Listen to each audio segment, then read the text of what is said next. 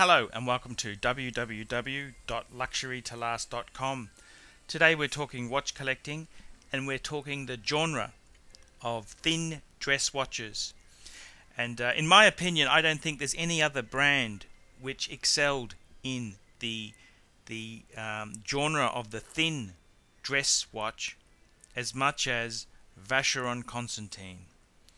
And uh, I mean, Patek Philippe it certainly had a uh, it's it's had a couple of models even up until recent times. It's had some um, very thin dress watches, and um, other brands have also had very thin models like Audemars Piguet, um, Breguet, uh, many many many brands.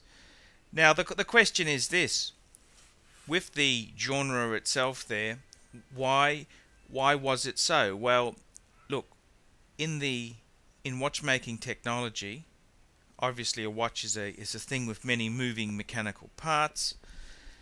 The the skill to make something as small as possible. This is before the the microchip and things like that there was to make it as small and as delicate as possible. And to when I say delicate to reduce the size so it could fit into as smaller space as possible while still being quite durable because you've got to remember a wristwatch itself takes a pounding. It needs to be accurate. It needs to last. And uh, Audemars Piguet it's quite funny because they had some very thin dress watches up until the 1980s and if you look at the range now with the the Audemars Piguet Royal Oak offshore chrono, which is a monster of a watch. It's amazing to believe that Audemars Piguet actually had some very thin dress watches. And uh, that just shows you how consumer driven the Swiss watch industry is. Now, I'm not saying it's a bad thing, it's just an economic reality of the times. And Audemars Piguet, it's just amazing that they they um, they had such a thin thin watch in their range compared to the monsters they're producing now. But I, I, I would say, look, Vacheron Constantin, one of the oldest houses for making watches. Vacheron's got a, a proud history of having over 250 years of continual production. It's not just a brand that's been re um, from from the uh, from the ground. This is a brand that has existed that long, and, and that, that's quite an amazing feat. And Vacheron themselves there, the 1950s, 1960s, this is when uh, America was was doing extremely well economically. It's it's not long after World War II, where Europe was uh, certainly decimated and England was had still had rationing in a lot of ways, and so Vacheron released its it's some of its finest dress watches, and um, they've used movements like the K1001, the K1003 type movement, K1002 movement. Those those type of movements there, and and the aim was to make the watch as thin as possible. And uh, I, I was looking around. I've got a beautiful Patek Philippe Calatrava dress watch, white gold, but I was sort of thinking to myself, you know, the watch is called a Grand Tourly. I said, you know, maybe I really want a 1950s, 1960s ultra thin dress watch. And, and I, I started thinking, who makes, what, what brand is renowned for that? And um, that, that, that drove me to the, um, the Vacheron and Constantin house. And um, you certainly can understand why. They've, they've had a very long history in watchmaking and the ultra thin watches themselves, their Vacheron is is renowned for. And uh, my my Vacheron, I've got a Vacheron 6405, and uh, there's some other Vacherons you can see here in this clip here. Um, I'm showing. These are 1960s type watches, and um, they they were quite expensive. My Vacheron 6405 in 1967, which was the first year that my dad entered the the workforce as a bank teller, um, my Vacheron was $850. His yearly wage at the time was just over $2,000 a year. So you're looking at sort of half a year's salary, uh, and uh, that's a lot of money. And um, The the Pete, you look at it and you can see why it's so expensive. It's 18 karat gold. It's got a coin edging bezel. It's got a magnificent Geneva seal movement. It's a beautiful, beautiful watch, and the the that genre of watch, the ultra thin dress watch itself, there, it's sort of in the 1950s and 1960s. The times were not as casual as today. Suits were a lot more worn. Uh, ties were expected for a lot of jobs and uh, we've seemed to have have made the workforce a lot more casual. And it's quite funny. You see people now with in boardrooms in suits with a Rolex Submariner or Rolex Sea Dweller on their wrist, huge dinner plate specials where the dress watch is what should really be worn in that environment. The thin dress watch. And um, look, the the interesting thing, Vacheron and Constantin, they they are a very renowned house, but they they've kind of um, they're a highly respected firm, but they were slow to change. And when I say change, I mean move to the larger sizes.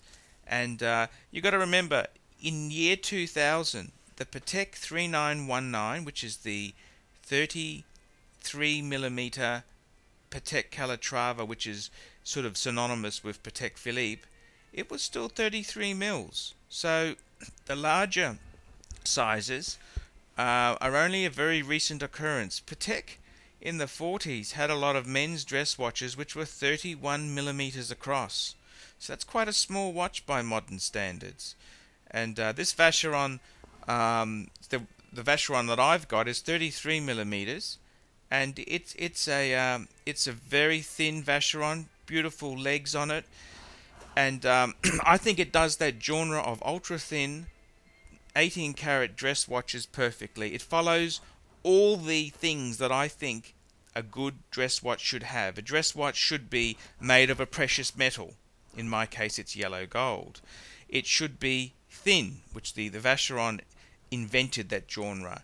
It needs to be on a leather strap. It needs to be uh, it can have like a a seconds. It's mine's got a sub seconds, but it needs to be not a complicated, just a very discreet. Because with a dress watch, discretion is the the key ingredient, and that's the the thing about a dress watch. It's very discreet and relaxed, and I don't think it gets any better than a Vacheron Constantin. And um, the interesting thing is, I mean, look, times have certainly changed. These companies are market driven. The market forces control a lot of these these products. Vacheron has actually now they've got a range of watches called the Vacheron Patrimony, and uh, the Patrimony dress watch mechanical. It's actually a 40 millimeter across watch now, and um, I don't know if, if I feel feel. Um, I mean, it's a beautiful looking modern uh, watch with a, a, a vintage feel to it, but the I think in some ways there it's kind of sad that all the watches have gotten so big like that. They do look beautiful. I, I agree. I mean I've got modern eyes. I I, I, I understand exactly where, where people are coming from there. But uh, I mean look, if you want a, a proper interpretation of 50s, 60s ultra thin watches, I think Vacheron is the key key brand there. And the other thing about Vacheron is that these watches, yes, they were ultra expensive when they were new. They really are quite a good bargain to buy on the second-hand market. And uh, that's partly because they've lost flavour. The smaller size watches are um, they are not retaining the value as the bigger watches. And it's quite interesting because my Vacheron in the 60s would have been double the price of a Rolex Submariner when it was new. However, now it's a fraction of the price of a, a vintage Submariner. And uh, that just shows you how fashion and times change. The other interesting thing is with the, the Vacheron pieces there, is it's not just Vacheron who had smaller pieces. If you look back to the Rolex Bubbleback, it's sort of a 31 mil size watch and um, when the the Oyster range came out, it went slightly bigger. And you look at the the Rolex. So the the Rolex had the um, like you look at the Rolex Datejust 1601, the 16013, the 16233, which is the two-tone Datejust series. And it was 36 mil. They've now released Datejust 2, which is a, a bigger size case again. And uh, that that's these are all these companies are all consumer driven, and um, I I still think there's a lot of for everything you gain you lose something, and uh, I think 60s, 50s, 60s uh, dress watches. Vacheron Constantin is is is the name that um, I think had that genre perfectly covered. I think in time the Vacheron pieces um, will will certainly climb in value, but if you're looking for a great dress watch with a a beautiful um, piece of history in watchmaking, I think a Vacheron ultra thin watch you certainly can't get better than that. I hope you've enjoyed this clip. Please come to my free information website www.luxurytolast.com. Thank you.